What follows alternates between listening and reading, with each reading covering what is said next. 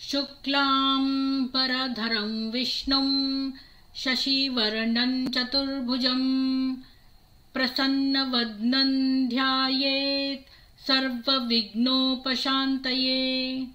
ॐ श्रीकृष्णपरब्रह्मणे नमः। ध्यानश्लोकाः। पार्थाय प्रतिबोधितां भगवता नारायणेन स्वयं।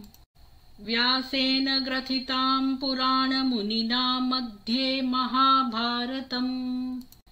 अद्वैतामृतवर्षिणीं भगवतीम् अष्टादशाध्यायिनीम्। अम्ब त्वामनुसन्दधामि भगवद्गीते भवद्वेषिणीम् ॐ श्रीकृष्णपरब्रह्मणे नमः। ॐ कृष्णाय नमः। ॐ कृष्णाय नमः। ॐ कृष्णाय नमः। ॐ कृष्णाय नमः। ॐ कृष्णाय नमः। ॐ कृष्णाय नमः। ॐ कृष्णाय नमः। ॐ कृष्णाय नमः। ॐ कृष्णाय नमः। ॐ कृष्णाय नमः। ॐ कृष्णाय नमः।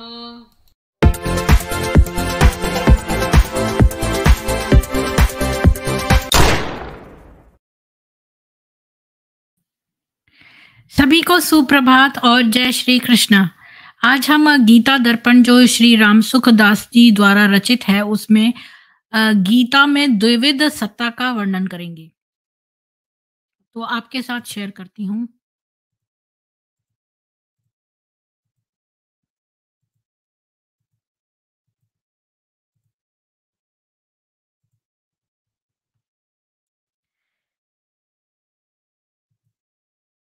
द्विविधा दृश्यते सत्ता विकारिण्य विकारिणी भूत्वा सतो भवित्री च सतो नित्या सनातनी। तो क्या है कि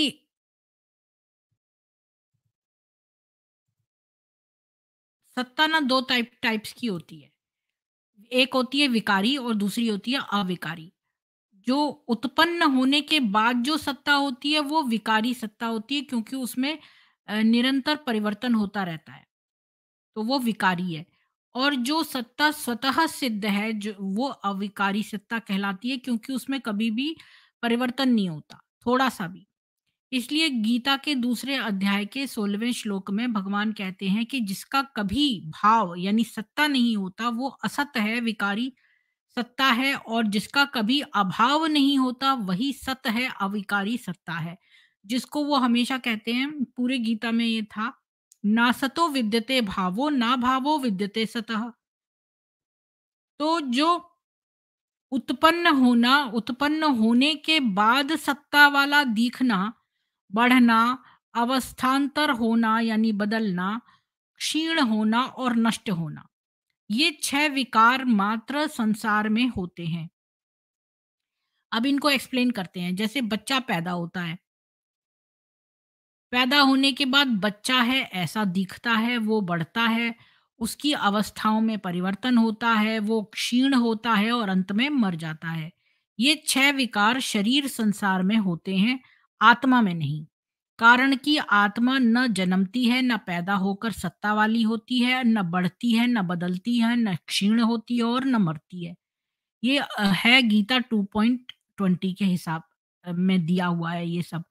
तो गीता में जहाँ जहाँ शरीर और संसार का वर्णन हुआ है, वह सब विकारी सत्ता का वर्णन है। और जहाँ जहाँ परमात्मा और आत्मा का वर्णन है, वो सब अविकारी सत्ता का वर्णन है।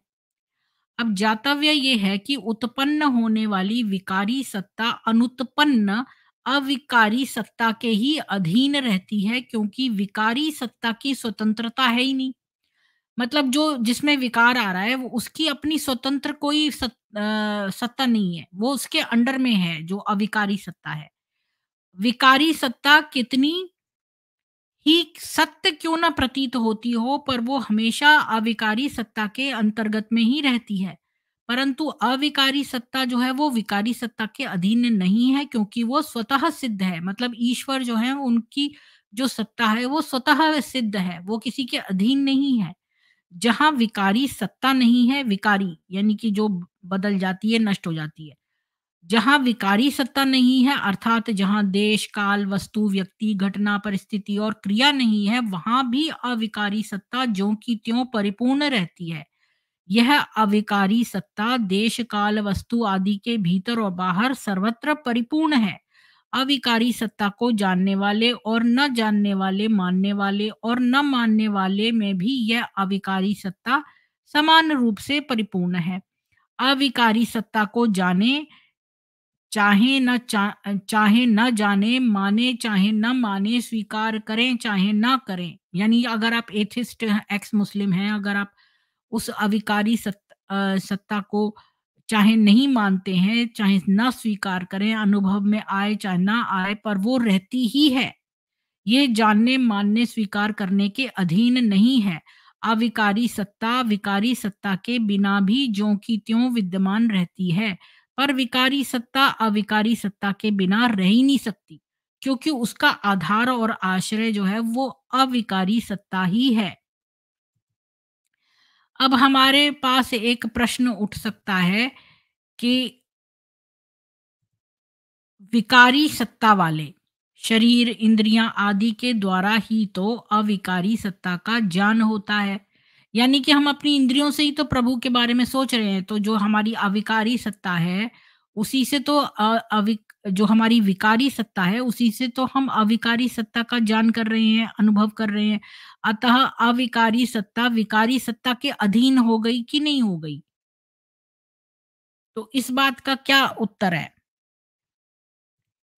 तो इस बात का उत्तर ये है कि ऐसी बात नहीं है। विकारी सत्ता के द्वारा अविकारी सत्ता की अनुभूति नहीं होती। प्रत्युत विकारी सत्ता के त्याग से ही अविकारी सत्ता की अनुभूति होती है। जब तक विकारी सत्ता के द्वारा अविकारी सत्ता की अनुभूति होती है, ऐसा भाव रहेगा, तब तक अंतकरण में विकारी सत्ता की महत्ता रहेगी।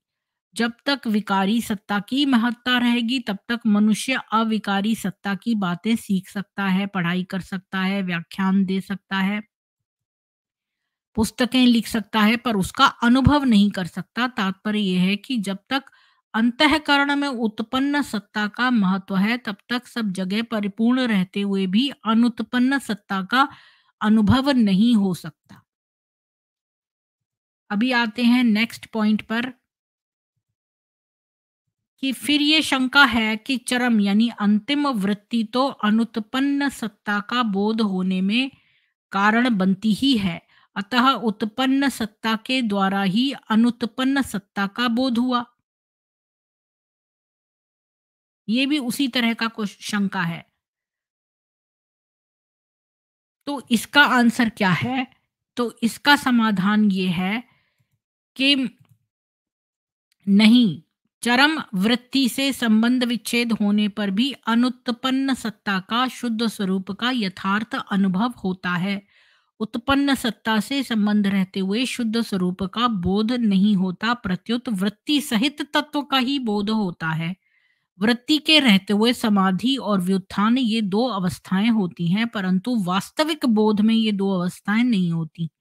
वास्तविक बोध वृत्ति से रहित होने पर ही होता है, क्योंकि वृत्ति उत्पन्न और नष्ट होने वाली है और स्वरूप उत्पन्न और नष्ट होने वाला नहीं है। तात्पर्य है कि वृत्ति से बोध नहीं होता, प्रत्युत वृत्ति से संबंध विच्छेद होने से बोध होता है।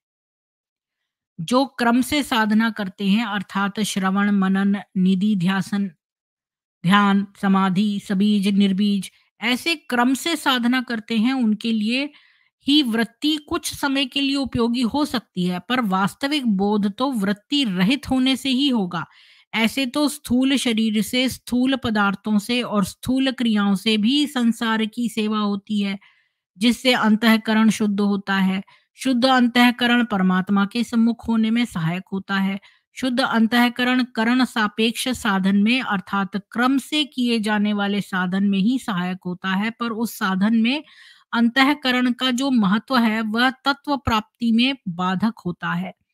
करण निरपेक्ष साधन में शरीर इंद्रियाँ अंतकरण से संबंध विच्छेद किया जाता है, कारण कि स्वतः सिद्ध सत्ता करण सापेक्ष नहीं है, अर्थात वह किसी करण की उपेक्ष, अपेक्षा नहीं रखती। कुछ भी चिंतन न करें, समाधि की भी भावना न करें, चुप हो जाएँ। तो इस चुप में स्वरूप स्थिति स्वतः होती है, क्योंकि वह तो पहले से ही है। साधक जब तक विकारी सत्ता का उपभोग करता है, उससे सुख लेता है, चाहे वो समाधि ही क्यों ना हो तब तक विकारी सत्ता की महत्ता नहीं हटेगी और महत्ता हटे बिना स्वतः सिद्ध अविकारी सत्ता की प्राप्ति नहीं होगी। मनुष्य विकारी सत्ता को प्राप्त करने में नहीं, अतः विकारी सत्ता अविकारी सत्ता की प्राप्ति का कारण नहीं हो सकती और अविकारी सत्ता विकारी सत्ता का कारण नहीं हो सकती, ना सतह सज्जाएत तो मनुष्य केवल अविकारी सत्ता जो परमात्मा है, उसको प्राप्त कर सकता है। विकारी सत्ता जो सांसारिक पदार्थ हैं, उनको प्राप्त ही कर ही नहीं सकता क्योंकि मनुष्य विकारी सत्ता को, सांसारिक पदार्थों को कितना ही इकट्ठा कर ले।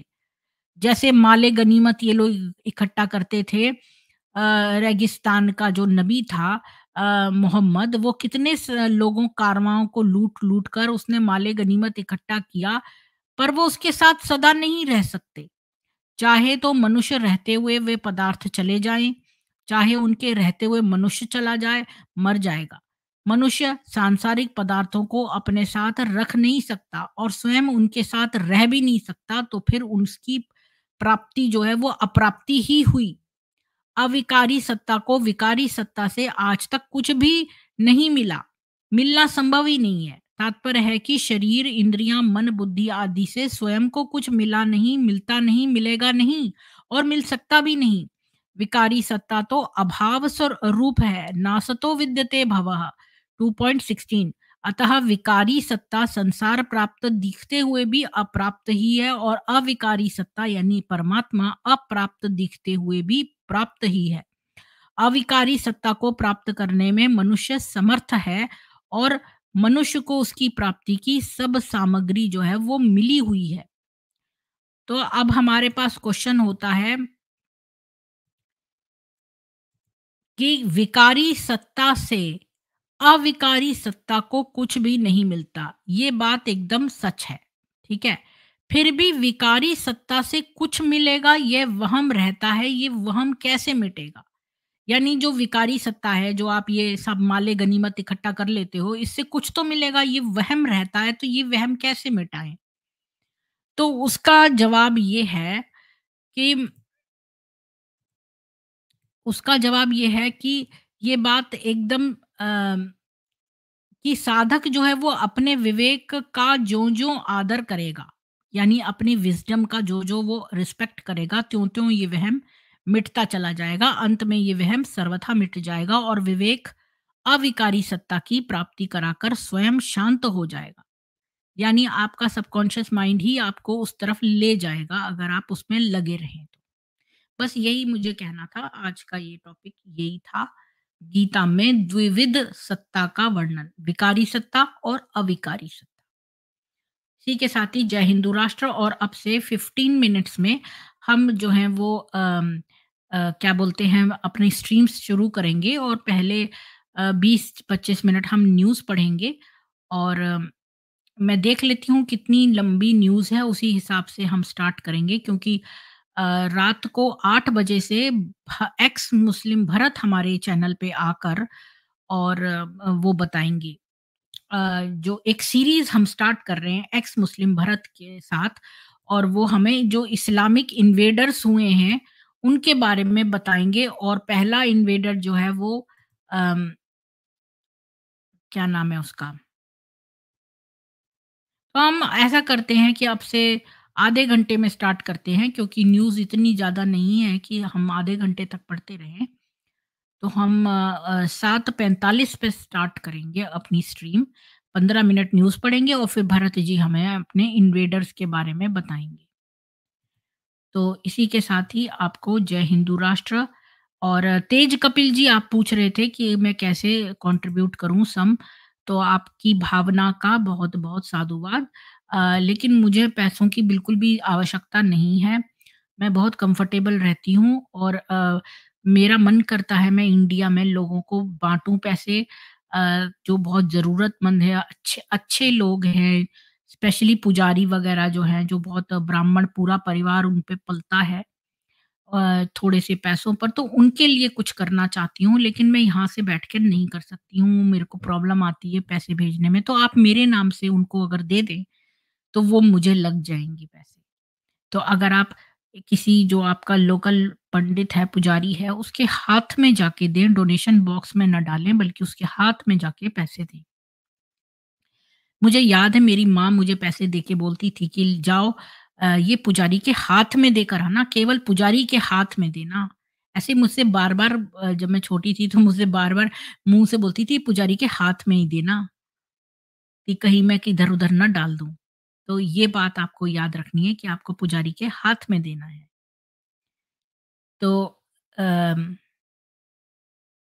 ये अ, ये मतलब सनातन शरण जी आपका मुझे समझ में नहीं आया। आप मेरे से बैक में आके मिलिए कौन-सी फ़ोटोज़ का आप कह रहे हैं? और अ, मैं सबको कहती हूँ कि मैं अ, मैं एक जगह लिख दूँगी कि जितने भी सनातनी हैं, वो मेरे सारे वीडियोज़ को यूज़ कर सकते हैं, कोई भी क्लिप काट सकते हैं, कोई भी फ़ोटो सब कुछ यूज़ कर सकते हैं। बस उसकी इंटेग्रिटी बनाए रखनी है मतलब ये नहीं कि आप उसको हँसी मज़ाक में बीच में मेरा एक क्लिप दिखा के उस पर हंसने लगे। मतलब इसीलिए सनातनियों के लिए ये मैंने ऑफ़र एक्सटेंड नहीं किया है बाकी मुसलमानों के लिए, बाकी जातियों के लिए। केवल मैंने सनातनियों के लिए ये ऑप्शन देती हूँ कि वो मेरी कोई भी वीडियो जो है लगा सकते हैं अपने चैनल पे थंबनेल चेंज करके और मैं ऐसा लिख के दे सकती हूँ, कुछ भी लगा सकते हैं, बस उसमें मेरे मुँह से दूसरे शब्द ना ठुसवाएँ एडिटिंग करके। उसकी इंटेग्रिटी अगर रखें तो ज्यों का त्यों उठा के आप लगा सकते हैं कहीं भी, क्लिप काट के चाहे पूरा, जैसे भी है। अभी मुझे नहीं पता आप कौन-सी फ़ोटोज़ की बात कर रहे हैं, लेकिन आप जो है मेरे से बैक में बात करिए, मैं आपको एक लिंक दे देती हूँ, तो आप मेरे से एग्ज़ैक्टली बताइए कि कौन-सी फ़ोटोज़ आप कह रहे हैं, मुझे समझ में नहीं आया। मैंने आपको लिंक दे दिया, बैक में आके मुझसे बात कर सकते जय हिंदू राष्ट्र और ईश्वर करे आपको और आपके परिवारों को नर-पिशाच से बचाए रखे। मिलते हैं आपसे आधे घंटे बाद।